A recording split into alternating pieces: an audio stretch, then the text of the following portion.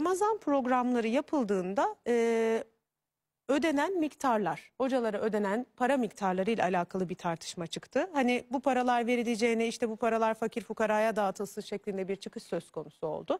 Ve bu da böyle çok konuşulmaya başlandı. Tabii biz bu paralar sürekli konuşuluyor ama ne olduğunu da bilemiyoruz. Tabii bunu ne olur şahsınız adına algılamayın. Hani büyük kanallarda çıkan hani sembolik bir takım e, isimler söz konusu. Ben isim vererek kimseyi tartışmaya da çekmek istemiyorum. İş buradan çıkıyor yani sizinle alakalı bir durum söz konusu değil. Kimler olduğunu da zaten izleyicilerimiz biliyorlar. E, ne düşünüyorsunuz bu konular hakkında? Tabii iki şey sordunuz. İkincisinden başlayayım. Bu soru e, benim için çok güzel bir soru. Niye? E, çünkü onlarca televizyon programı yaptım. Onlarca televizyonda programlar yaptım. Bu yüzlerce program. E, bunların hiçbirinden bir tek kuruş para almadım. Bunu e, bir övünç olarak söylemiyorum. Bu olması gereken bu yani. Yani almamak bir lütuf değil yani. Bizim peygamberimiz yaptığı tebliğe karşılık bir kuruş almadı. Kur'an'ı konuşan insan Kur'an'dan beslenmişse, onun zihnini Kur'an inşa etmişse bu işlerden para alamaz yani. Çünkü ecir beklenen şeyin ücreti alınmaz. Ücretini aldığınız şeyin ecri olmaz. Dolayısıyla kim ne alıyor bilmem ben hiç orayla ilgilenmiyorum. Kendi adıma söyleyeyim. Kur'an-ı Kerim'de şöyle onlarca ayet var. La eselüküm aleyhi ecra. Bu yaptığım işe karşılık sizden bir ücret istemiyorum. Her peygamber bunu karşısındaki ümmetine söylemiş. Ama onlar ücretsiz değil.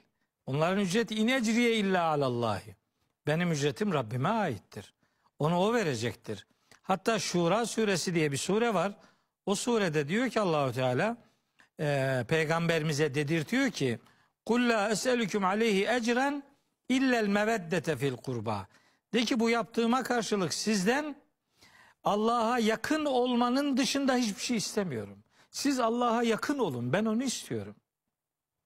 Benim de şahsen bu programlardaki tek beklentim Allah'ın huzurunda Ya Rabbi senin dinini bu adamın anlattığı şeyler sayesinde sevsim, sevdim diyebilecek bir yiğit çıksın Allah'ın huzurunda. Bir tane daha şahidim olsun isterim ben. Bunun ötesinde hem Yasin'i oku, İttebi'u men la yes'elüküm ecren ve hum muhtedun ayetini sizden ücret istemeyenlere tabi olun ki onlar peygamberlerdir. Bizim yaptığımız da peygamberlerin yolunu izlemektir.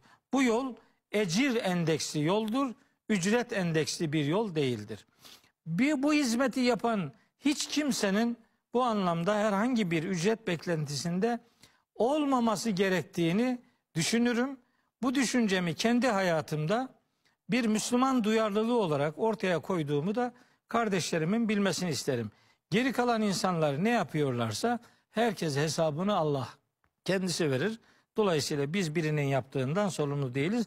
Ancak bir kardeş olarak bu işlerden ücret almamak gerektiğini, ücret alındığı için de bunun çok kıymetli etkisinin bulunmadığını, buradan çıkan sözlerin karşımızdakinin kulak kepçesinde buharlaşıp gittiğini görüyoruz.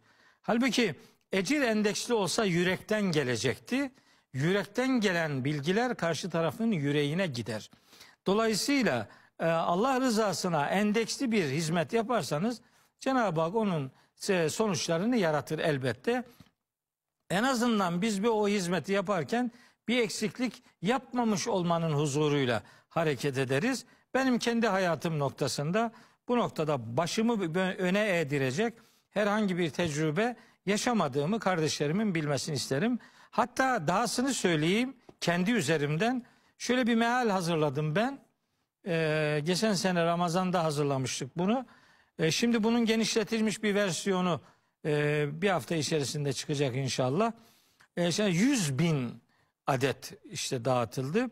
Ben bu mealin baskısından bir tek kuruş almadım. Hatta bunu bir üniversite yayınları bassın istedim. Onlar da kar amaçlı değil, sadece masraf neyse onu alsınlar diye sağ olsun Haliç Üniversitesi bunu üstlendi ve bu kitabımızın kardeşlerimize olabildiğince sadece masrafı üzerinden satışı yapılıyor.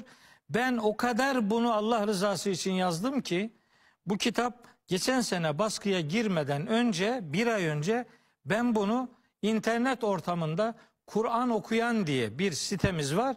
O siteden biliyorum. Web sitelerine ve e, telefon uygulamalarına e, indirebilirler. Bedava indirsinler diye. Allah'ın kitabı parayla satılır mı? Ayıp değil mi yani? Bir Müslümana yakışmaz bu iş. Ben Rabbime hep dua ettim.